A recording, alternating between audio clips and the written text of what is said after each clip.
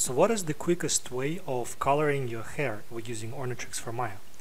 I'm going to go over this in this quick tutorial and we're not going to dive into any details, we'll do this in a later video, but we're just will learn the steps of how to paint the hair so that you can see the colors in your resulting renders. As you saw, I just created a new fresh fur ball and all I need to do now is to press this paintbrush uh, tool and double click on the tools menu so we open up our, our tools option.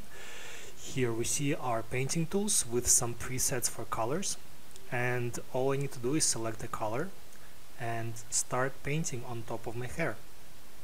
I can use any color I want so for example I can put some yellow color here or I can select the color by double clicking on this color swatch here and selecting whatever I need pressing done and then continuing to paint all of the standard Ornatrix paintbrush options apply.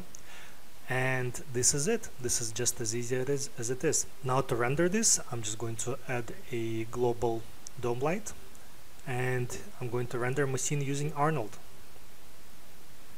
As you see all of the color changes that we did to our hair are present inside the render.